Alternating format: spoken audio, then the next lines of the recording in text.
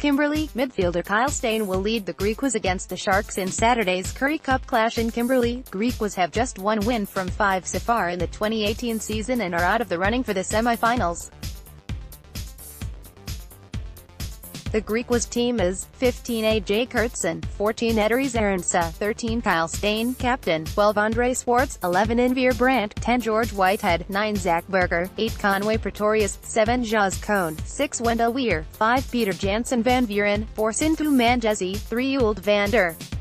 Westhuizen, 2 Khwezi Mkhafu, 1 Devin Mattiness replacements, 16 Liam Hendricks, 17 Nicholas Oosthuizen, 18 Jonathan Jans van Rensburg, 19 Idel Bredenkamp, 20 Lewis Venter, 21 Stefan Jans van Rensburg, 22 Edwin Sass, Kyle Steyn, right, in the match against Western Province in Cape Town.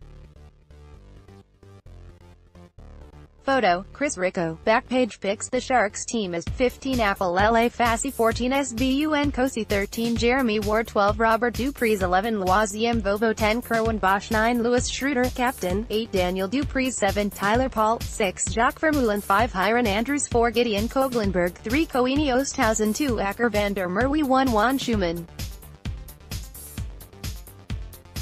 Replacements, 16 Chiliboy Ralepelle 17 Thomas Du Toit 18 JJ Van Der Mescht 19 Jean-Luc du Preez 20 Grant Williams 21 Marius Louw 22 Cobus Van Wyk, African News Agency, ANA. Like us on Facebook follow us on Twitter.